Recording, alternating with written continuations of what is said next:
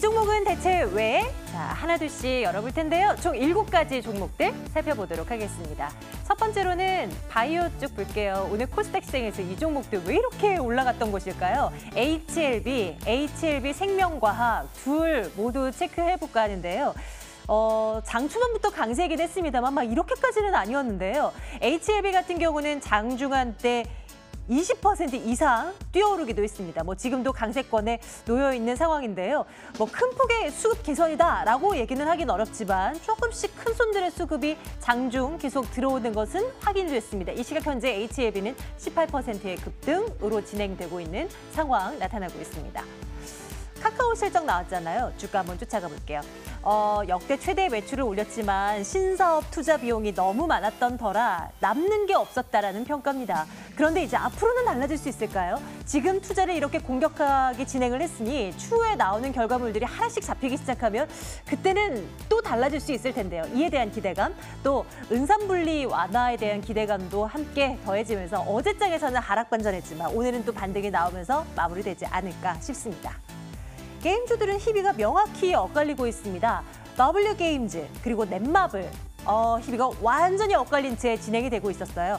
어, W 게임즈 같은 경우는 장 초반부터 강세였습니다. 영업이익이 1년 전과 비교했을 때 무려 350% 이상 급증했다라는 수치를 확인했으니까요. 장 초반부터 강해서 지금도 장대 양봉 그리면서 진행되고 있고요. 반면 신작 출시가 지연되고 있다는 지적이 나온 넷마블은 주가가 급락이었습니다. 뭐 10% 안팎의 하락으로 진행되고 있었는데요. 이대로 마무리가 되겠죠. 게임주들 앞으로 어떻게 봐야 될까요? 예, 앞으로도 추적해 보도록 하겠습니다.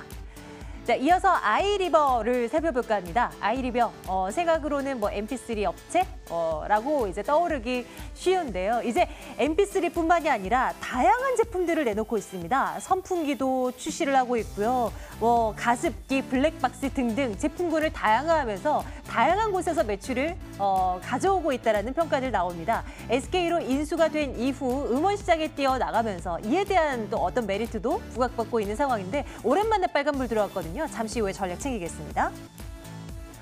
OCI의 주가도 오늘 강합니다. 태양광 관련주들 오늘 오랜만에 일제히 빨간불 켜고 있는데요. 폴리실리콘 가격이 반등에 나섰다, 기관 수급 양호하다 이런 부분들이 긍정적으로 보입니다. 역시 챙겨보도록 하겠습니다.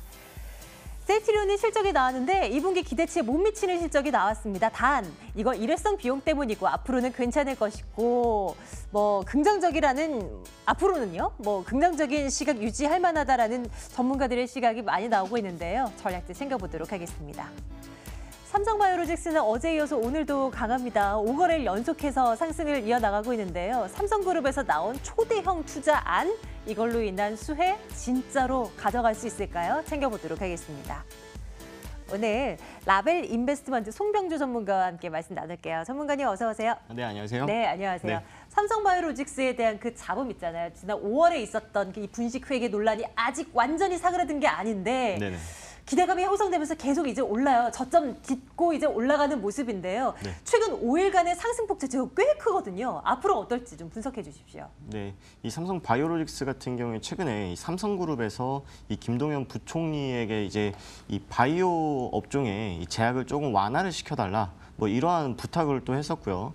그다음 100조 원 이상의 투자를 하면서 뭐 바이오라던가 뭐 5G 미래 산업에 대한 투자를 늘리겠다라는 목표를 좀 보이면서 아, 삼성 바이오로직스가 어, 직접 직간접적인 수혜를 받을 수 있지 않을까라는 기대감이 이 5거래일 동안 상승을 좀 이끌어왔다라고 좀 볼 수가 있습니다. 하지만 좀 우리가 냉정하게 평가, 평가를 한다면은 우리가 그 투자에 앞서서 삼성 바이오로직스가 먼저 해결해야 될 것은 이 감리 이슈인데 감리가 아직 끝난 것이 아닙니다. 뭐 잠정으로 어, 연기가 되었지만 뭐 10월 달, 11월 달 언제 이루어질지 모르는 상황에서 우리가 아 삼성이 100조 원 투자한다 이러한 소식만 가지고서 우리가 장기적으로 가져가기엔 좀 부담스럽다라는 말씀을 좀 드리고 싶은데 사실 삼성그룹에서 바이오그룹 좀 제재를 완화해달라 이런 부분들이 어떻게 보면 좀 간접적으로 삼성 바이오릭스 좀 잘 봐주세요라는 표현으로 우리가 좀 해석을 해볼 수는 있겠습니다만은 이게 투자하는데 이 삼성이 100조 원 이상 투자를 한다는데 3년 정도 걸린다라고 합니다. 그랬을 때 우리가 감리 이슈를 보고 나서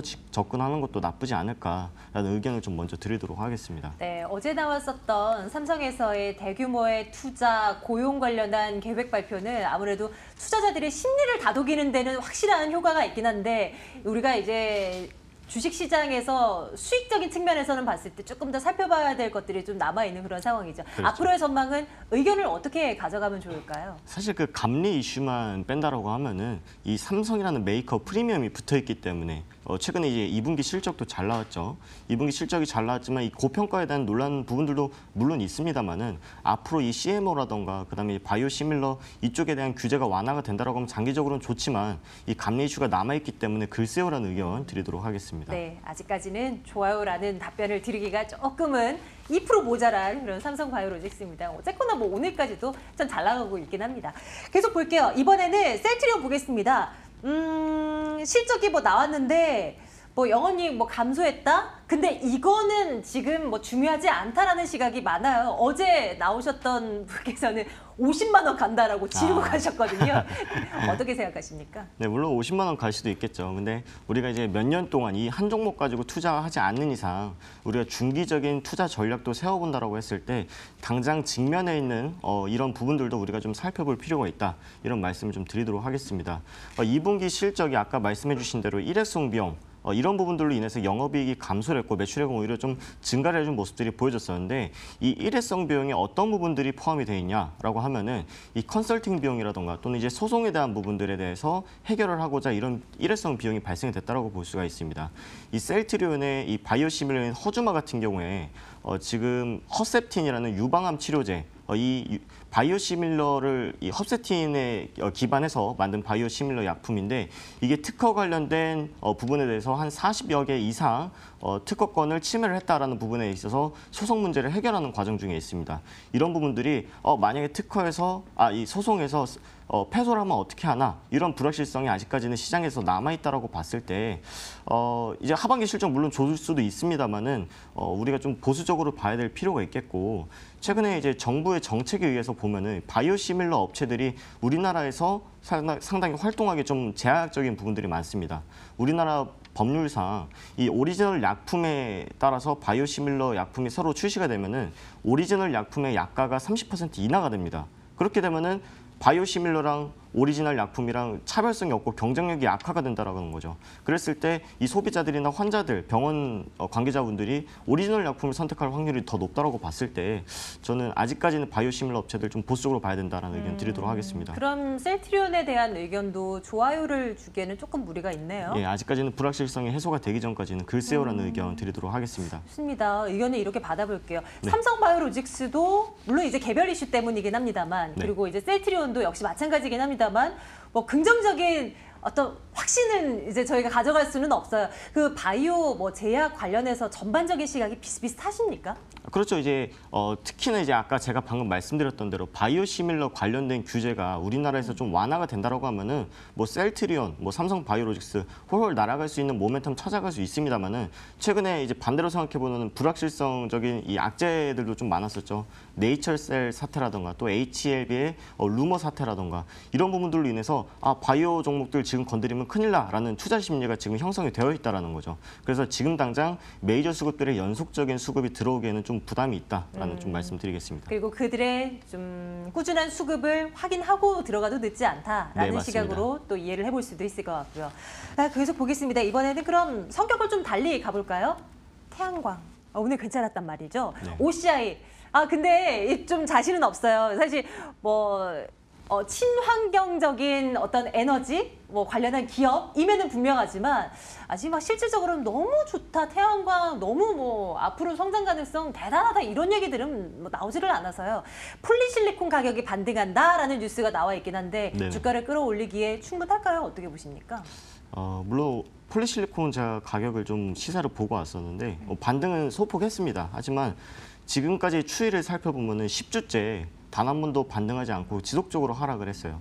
최고가가 키로당 한 17달러 정도 됐던 게 한 11달러까지 줄어들었고 이게 이 시- 폴리실리콘 같은 경우에 OCI가 제작을 할 때 BEP 손익분기점이 한 14달러 정도는 넘어줘야지 손익분기점이 넘어서거든요. 그러니까 네. 지금까지 10주 이상, 그러니까 몇 개월 동안 계속적인 이, 이 흑- 어, 손실을 보고 있었다라는 거죠. 이 OCI라는 기업이.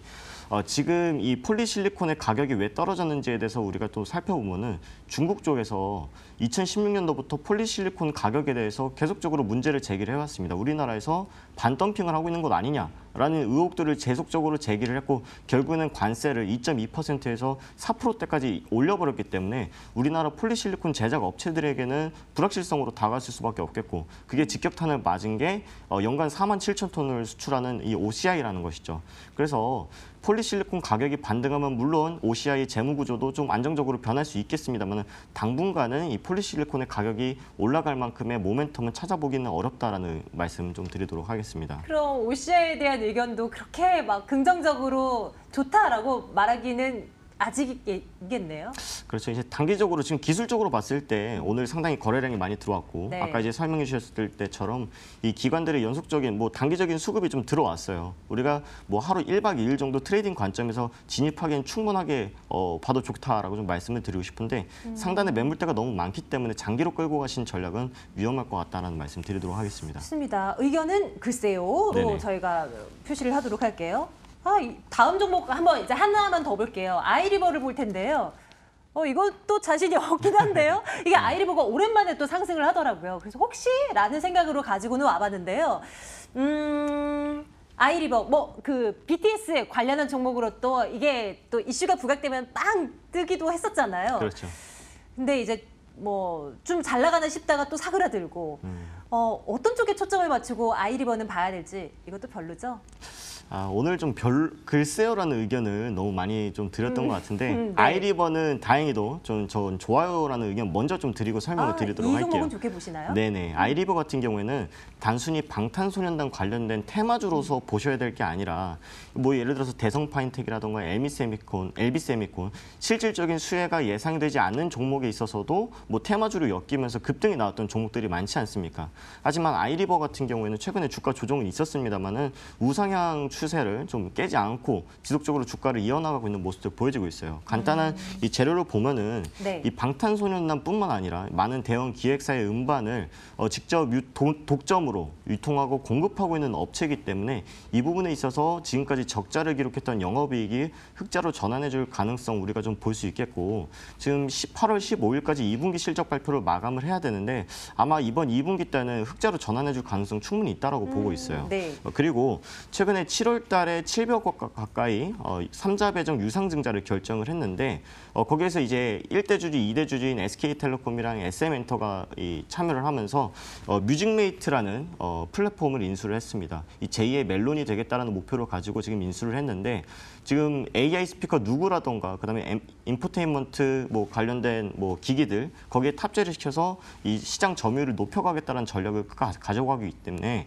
저는 올해 하반기뿐만 아니라 내년까지도 이 실적 성장에 대한 가능성 충분히 좋게 보고 있습니다. 오 그래요? 그럼 네네. 당연히 이제 의견은 좋아요이고 네. 실적 이번에 진짜 흑자로 전환이 되는지 여부도 한번 눈여겨 봐야 될 것 같아요. 그럼 내일 장은 top pick은 당연히 뭐 좋아요가. 이거밖에 없었으니까요. 네. 아이리버 눈여겨 보도록 하겠습니다. 자, 장 마감 어떻게 되는지 안신 앵커 만나러 가겠습니다.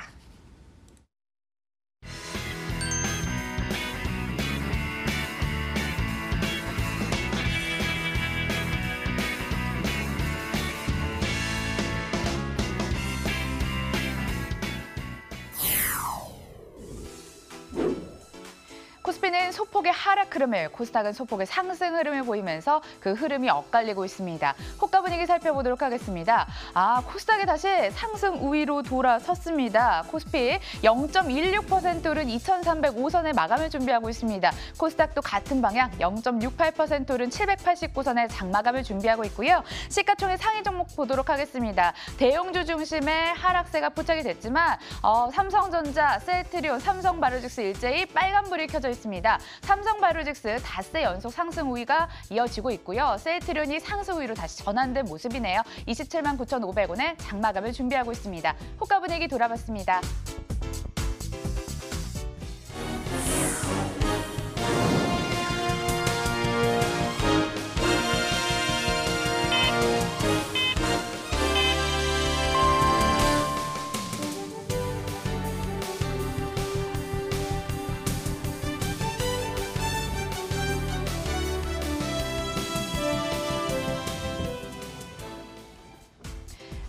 9월 9일 마감 상황 정리해드리도록 하겠습니다. 옵션 만기일이었죠. 변동성 바다는 횡보하는 모습이 연출이 됐는데요. 코스피 다시 하락으로 전환이 됐습니다. 아쉽게도 2,300선은 돌파하지 못한 채 0.08% 조정세가 포착이 됐고요.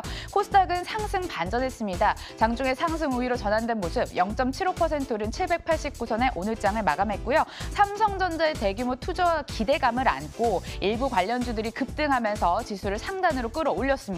수급 살펴볼게요. 외국인이 매도했죠. 1,474억 원 매도 우위. 하지만 기관 마지막에 매수 우위로 전환이 되면서 325억 원을 담았고 개인도 덩달아 475억 원의 쌍끌이 매수가 유입됐습니다. 코스닥 수급 살펴보도록 하겠습니다. 지수보다 오히려 수급 쪽에서 변동성이 나타나는 상황이었습니다. 외국인은 끝내 매도 우위로 정말 4억 원 매도 우위가 포착이 됐고요. 어, 매도 러쉬가 6일째 이어지고 있습니다. 하지만 개인이 안정적으로 6거래일 연속 매수 우위가 포착이 되면서 64억 원을 담았습니다.